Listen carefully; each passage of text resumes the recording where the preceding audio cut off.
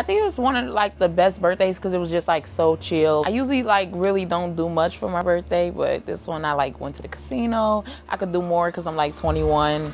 Went like on this boat, speed boat riding and out to eat and stuff like that. It was cool. I lost $2,000, but I'm not gonna give up. I believe I could go in there and make like 10K because I'm, I'm really great what it is at, I'm really good at cards. That's one thing people don't know about me.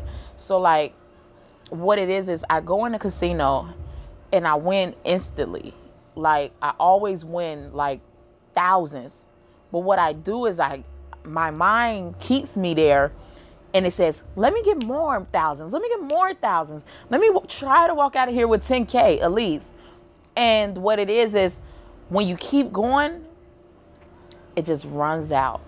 And then you walk out with nothing because it's just addictive. So for people that go to the casino, y'all, I suggest y'all go in there with a set time. Say, hey, we got 45 minutes to see what we do. Set an alarm clock. After that 45 minutes walk the fuck out. Do not continue because you will lose your money. But like i said if i would have stopped at 45 minutes i would have at least walked out with like 9 to 10k that day. I was playing on my birthday. Playing like heavenly miles fuck your inches the day your money. high.